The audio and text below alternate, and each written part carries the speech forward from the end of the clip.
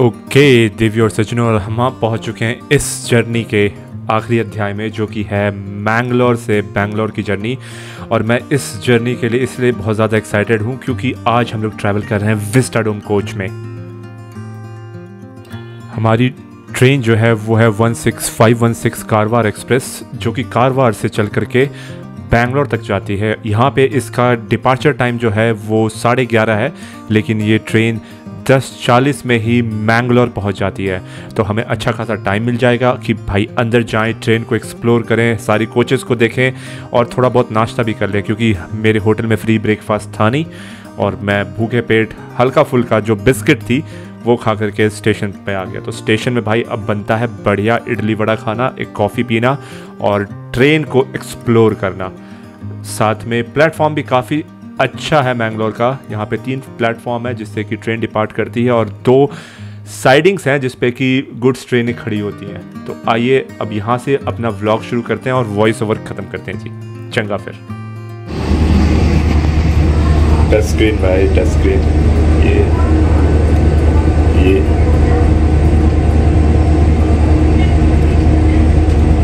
And with sliding doors curved one बाहर चलते हैं। इंजन की कपलिंग हो चुकी है और कुछ महत्वपूर्ण जानकारियाँ देनी है आपको विस्टा डोम के बारे में। बहुत लोगों ने दिया है, मैं डिमेरिट्स बताऊँगा मेरिट्स देखेंगे, बाद में बात करेंगे।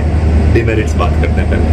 तो आइए गाइस विस्टा डोम के जो सबसे प्रमुख चीज़ है, वो ये पेनॉर्मिक व्यू वाला एरिया इसकी डिमेरिट के बारे में बात करते हैं। अगर आप बैंगलोर से बैंगलोर मतलब कि कारवार से यशवंतपुर की तरफ़ जा रहे हैं तो यहाँ पे कोई व्यू ही नहीं है। There is no view actually क्योंकि इसके पीछे जनरेटर कार है और उसके पीछे सारे कोचेस हैं। तो ये वाला एरिया तो वेस्ट है। और ये वाला वेस्ट इस कोच के लिए नहीं है। इसका जो दूसरा कोच है ई वी टू उसका भी यही हाल है। सो so, मेरा तो ई वी वन है इसके पीछे जनरेटर कार है। और ई वी टू जो लोकोमोटिव से बिल्कुल चिपका हुआ है, उसका भी यही है। तो ये तो पहली डिमेरिट हुई। अगर आप इस तरफ़ से जा रहे हैं फ्रॉम मैंगलोर टू बैंगलोर अब ये देखिए, ये वाला जो कोच है, इसका भी जो पेनॉर्मिक व्यू है, वो आगे की तरफ़ है और उसको लोकोमोटिव ने ब्लॉक कर रखा है। तो ये देखिए पीछे, वो रहा उसका पेनॉर्मिक व्यू वाला कैबिन और वो आगे लोकोमोटिव ने ब्लैक ब्लॉक कर रखा है। दूसरा कि भाई, इस कोच में अपनी पेंट्री तो है, लेकिन कुछ खाना वाना बेचने के लिए आते नहीं है। और सबसे आगे लगने के कारण, भाई, आपको बहुत पीछे जाना पड़ता है प्लेटफॉर्म पे खाना ढूँढने के लिए। इनके पास मैगी रहता है और चाय का प्रबंध रहता है। इनर वाली पेंट्री है, वो इस पर पहुँच नहीं पाती है, क्योंकि बीच में जनरेटर कार है। और सबसे बड़ी बात है कि 48 लोगों के लिए सिर्फ़ दो वॉशरूम है। वहाँ पे चेयर कार में 72 के लिए देर आर फोर वॉशरूम्स और यहाँ पे सिर्फ़ दो वॉशरूम है क्योंकि दूसरी साइड वाले में पेना पेनॉर्मिक वाला कैबिन है। तो उधर वॉशरूम तो है नहीं। अब हम, मैंने बता दिया आपको वॉशरूम की डिमेरिट पेनॉर्मिक व्यू की डिमेरिट और कोचेस इंटरकनेक्टेड नहीं है। तो उसकी वजह से एक ये भी दिक्कत है। हाँ बाकी अच्छी फीचर्स हैं कि वॉशरूम काफ़ी अच्छा है स्लाइडिंग डोर्स हैं। और अलग अलग तरह के टेक्नोलॉजी वाइज भी फीचर एडवांस फीचर्स हैं इसमें, लेकिन वही बात है ना यार कैसे? कैसे मतलब विस्टा डोम का फ़ायदा उठाए बंदा सिर्फ़ साइड ग्लास से? भाई, अभी इंजन अटैच हुआ है यहाँ पे और इसकी कैबिन व्यू से ऐसा आएगा आपको इंजन की हेडलाइट जलती हुई दिखेगी बस। That is the problem and the time update is eleven O four ग्यारह बज के पाँच मिनट, साढ़े ग्यारह बजे ये ट्रेन खुलेगी, लेकिन यहाँ पे एक घंटे पहले ही आ गई थी मतलब साढ़े दस आ गई थी ये। तो अभी काफ़ी टाइम है इसको खुलने में। तो भाई घाट सेक्शन में आपको ये व्यू मिलने वाला है। डब्ल्यू डी पी फोर के जी एम शेड का और ये व्यू रहेगा यहाँ से। भाई बढ़िया लोकोमोटिव देखो।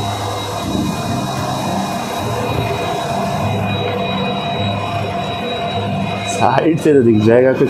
सामने तो भाई सीन ख़राब है।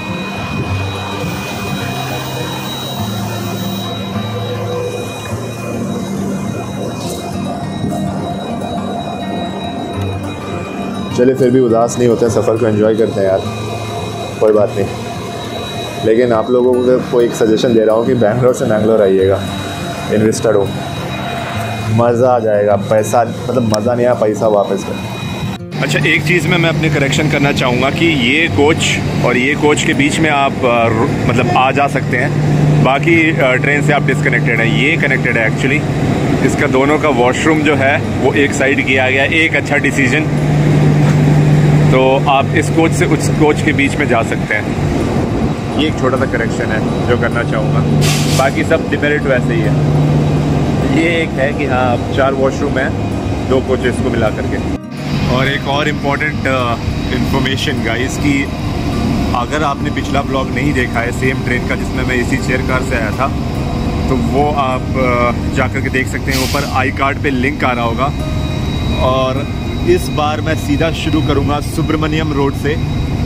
सुब्रमण्यम रोड से इसको जर्नी uh, को शुरू किया जाएगा। और ज़्यादातर जो शूट करूँगा मैं वो इंस्टा 360 से होगा या फिर अपने एक्शन कैमरा से। इंस्टा 360 इसीलिए क्योंकि एक तो वो वाटरप्रूफ है और ज़्यादा वाइडर व्यू कैप्चर करेगा और एक्शन कैमरा से। और सुब्रमण्यम रोड से सकलेशपुर तक का ही वीडियो बनाऊँगा, क्योंकि बाकी तो नॉर्मल प्लेन रेलवे ट्रैक से वैसा कोई घाट सेक्शन है नहीं। तो आइए शुरू करते हैं। सिग्नल मिल चुका है हमें और डिपार्चर टाइम भी हो गया है ग्यारह सत्ताईस। तो अगले दो मिनट में ट्रेन खुल जाएगी और इस जर्नी को शुरू करते हैं। अब हम सीधा मिलेंगे सुब्रमण्यम रोड में, जहाँ पे बैंकर्स अटैच होंगे और उसके बाद फिर हम वहाँ से आगे कंटिन्यू करेंगे इंस्टा 360 से।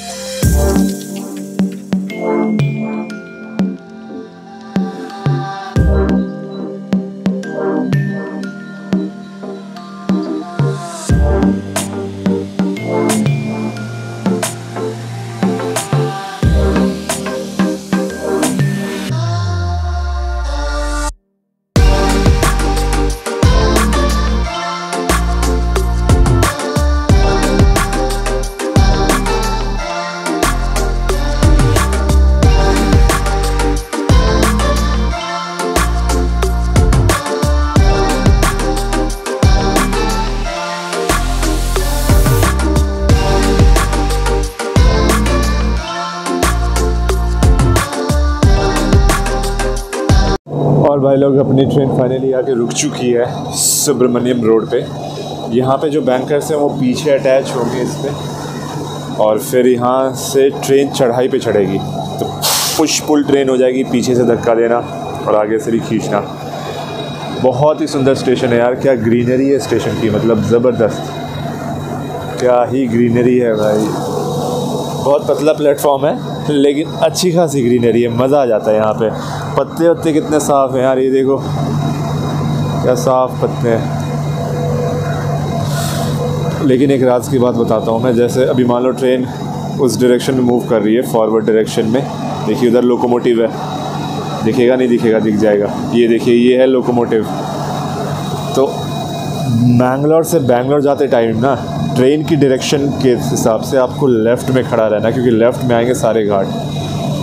इसीलिए भाई अभी ना मैं आ गया हूँ बाहर और तकरीबन एक डेढ़ घंटे मैं दरवाज़े पे खड़ा रहूँगा। जितना हो सकेगा उतना फुटेज दिखाऊँगा। उधर से आते टाइम तो पता नहीं था ये। तो मैं दूसरी साइड खड़ा हो गया था, जिस साइड इस तरह की दीवार है। इस बार भाई शुरू से ही दरवाज़ा लूट करके खड़ा रहना है। क्योंकि पेनॉर्मिक व्यू का तो आपको बता दिया जो कैबिन है, उसका तो कोई फ़ायदा है नहीं। जो फ़ायदा वो दरवाजे का है। हालाँकि बारिश हो रही है। लेकिन फिर भी भाई दरवाज़ा पकड़ के रखना अपने साइड का लेफ़्ट हैंड साइड का। तो भाई वॉशरूम वॉशरूम से जाते हैं, क्योंकि डेढ़ घंटे दरवाजे पे ही खड़े रहेंगे अपन। पैर में दर्द होगा भाई, पैर में दर्द होगा। चलिए, अब सीधा पेनॉर्मिक व्यू पे मिलते हैं अपने इंस्टा 360 से। फ़ोन की व्लॉगिंग बंद यहाँ पे, अब इंस्टा 360 का खेल शुरू होगा सारा।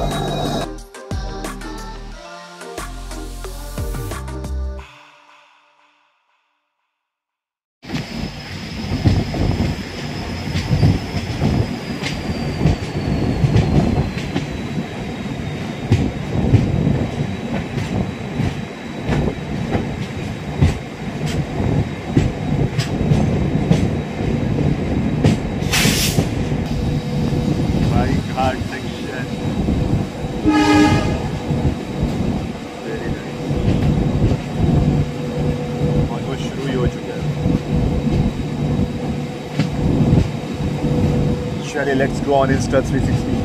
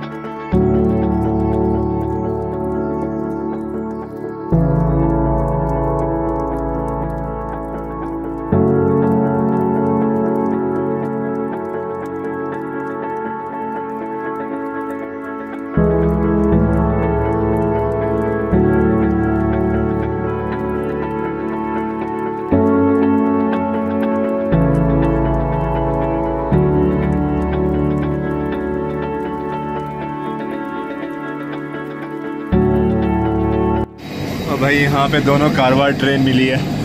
This is actually the up which is going towards Mangaluru और ये हमारी ट्रेन थी which is coming from Mangaluru and going to Yeshwantpur Bangalore अपने को भी रेड सिग्नल मिला हुआ है। इनको भी रेड सिग्नल मिला हुआ है।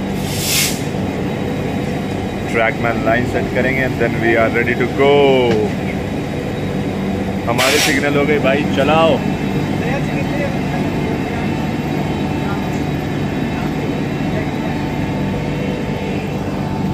मज़ा आ रहा है, बस सही डायरेक्शन में खड़ा होना।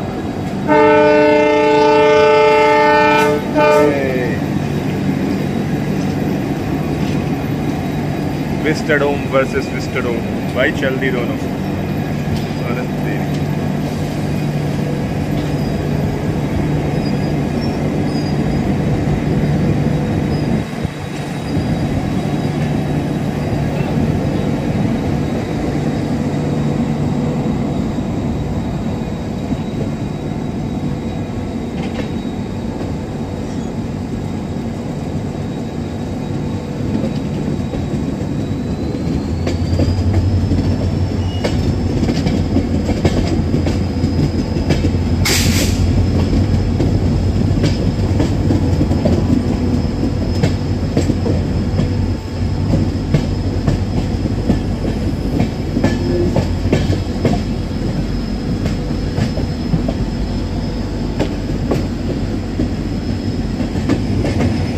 इधर का नज़ारा देखो यार।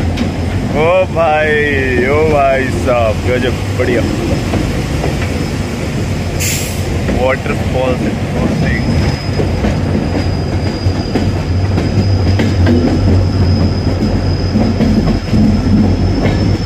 Your life, please. और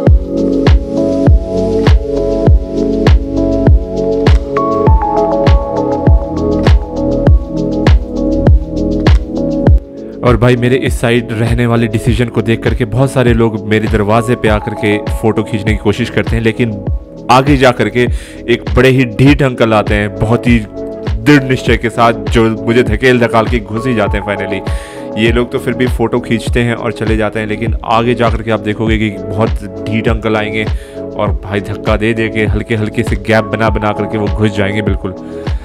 लेकिन भाई, ये सही डिसीज़न था। जितना मैं मैक्सिमम कैप्चर कर पाया, उतना आप लोगों के लिए किया है। तो एन्जॉय करिए इस व्यू को।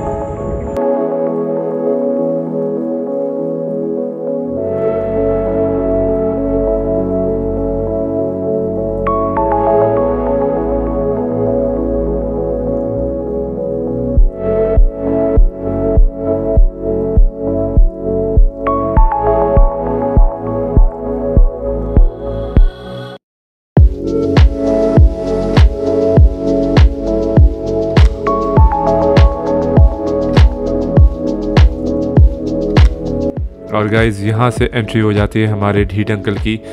जैसा कि आप देख सकते हैं कि अभी ये दरवाजे के एक हैंडल पे पहुँचे और धीरे धीरे ये मुझे हिलाते हुए, टरकाते हुए दरवाजे पे कब्ज़ा कर लेंगे धीरे धीरे लेकिन तब तक मैं बहुत ऐसी फुटेजेस ले चुका हूँ और घाट के 57 टनल्स में से 38 टनल्स कवर कर चुका हूँ और उसके बाद मैं ये नहीं कहता कि उन्होंने ले लिया, मैंने खुद दे दिया गाइस खुद दे दिया। You know how I am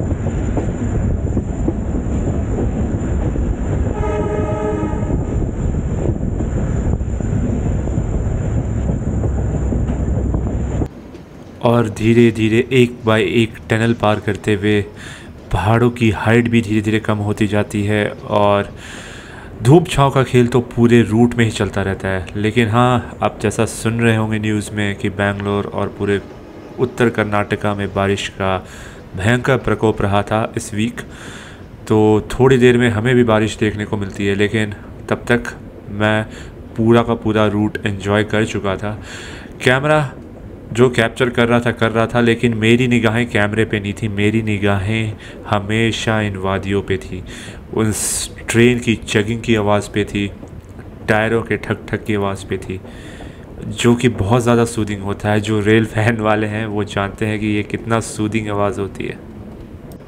और अब हमारी ट्रेन को फिर से एक साइडिंग पे लिया जा रहा है।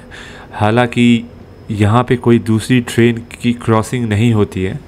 लेकिन इस रूट में दो तीन ऐसे स्पॉट थे जहाँ पे अननेसेसरली साइडिंग पे लिया गया। मुझे नहीं पता कोई टेक्निकलिटी होगी इसके बिहाइंड लेकिन अभी हमारी ट्रेन साइडिंग पे आती है और यहाँ से इंस्टा 360 का रोल भी ख़त्म हो जाता है।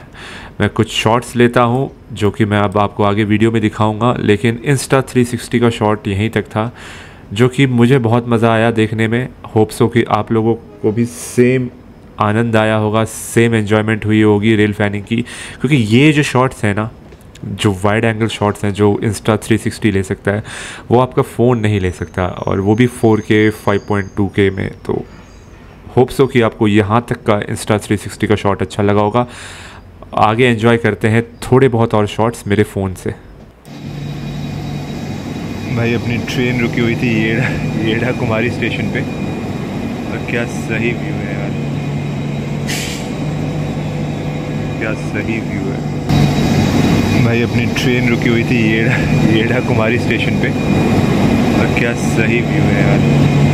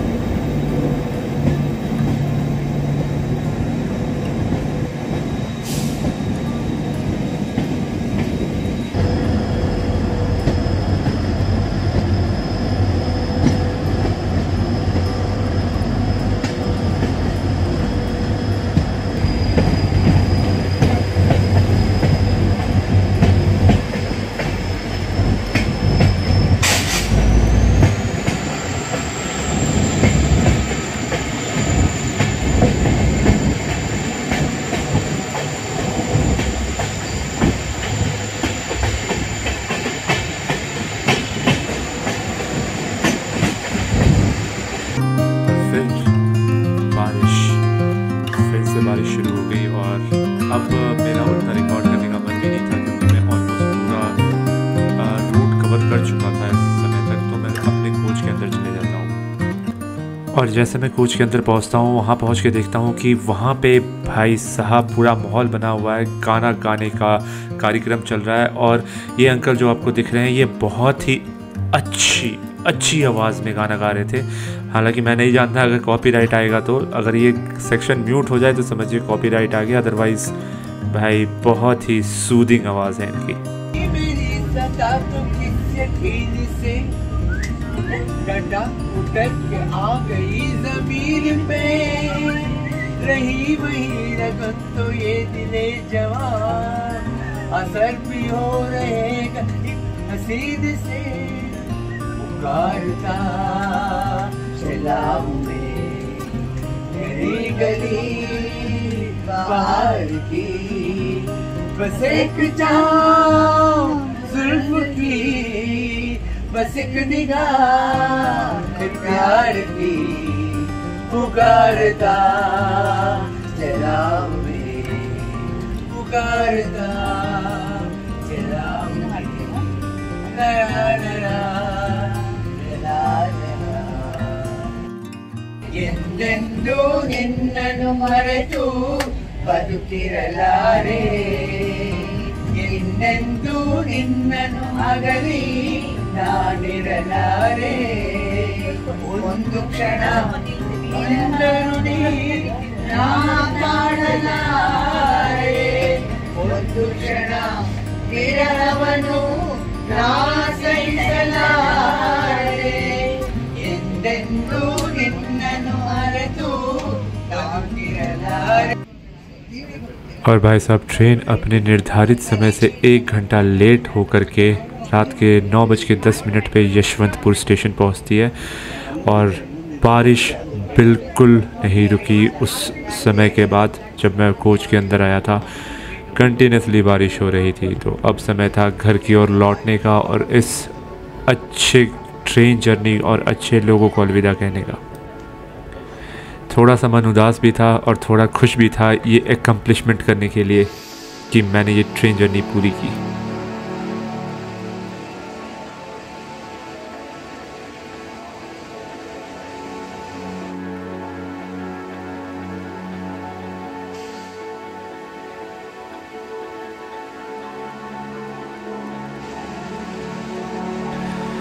मेरा मन अभी भी ये कह रहा था कि मैं हर उस मोमेंट को रिकॉर्ड करूँ जो मुझे यूनिक लगे। और मुझे हर चीज़ यूनिक लग रही थी। ये अपने इंजन से निकलती हुई स्टीम क्योंकि बारिश इतनी तेज़ थी और हमारा इंजन इतना लोड लेकर के आ रहा था। ये निकलती हुई स्टीम ये बिल्कुल ऑरेंज कलर का स्टेशन का इन्वायरमेंट और उसके बाद इवन घर जाते वक्त अपनी ऑटो राइड भी। जी हाँ ऑटो राइड भी मैंने हल्की फुल्की ग्लिम्स ली। तो अगर आपको ये अभी तक का शॉर्ट और ये पूरा वीडियो पसंद आया तो please like and share and do subscribe if you haven't and stay tune to the channel for more upcoming video stay safe stay healthy bye.